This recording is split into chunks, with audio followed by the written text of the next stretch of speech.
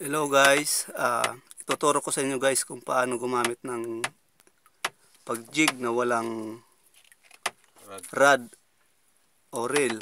Mano-mano lang po ito guys. Ayan, tingnan, tingnan nyo lang guys. Ganyan lang guys oh, yung mano-mano na ginagawa ng pagjigging na walang rod. Ganyan lang guys oh. Mga makaangat ka ng mga 10 o 15. Yan.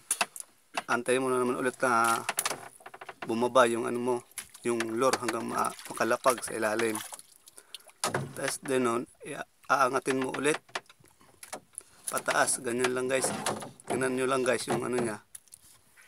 Yan. Barana.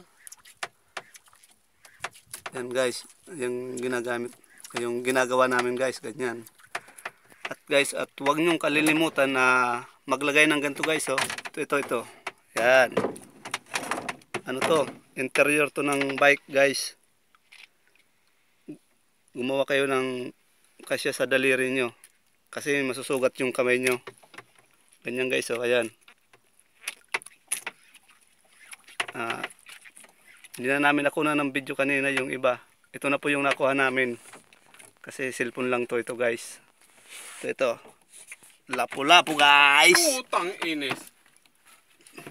Ba't kuta? Ayan guys, ayan. Ay, inay. Tatlong lapu-lapu-lapu. Sinaitan. Ihuli sana guys, hindi na ano.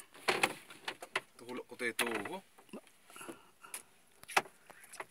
Shout out nga pala guys sa lahat ng mga taga-presentasyon, especially sa Kagdipa. Kuya Rodel ng Adyangaw, Rodel Pana, shout out nga pala sa iyo. Thank you. Sana dumating na yung ibibigay mong rad at reel. God bless.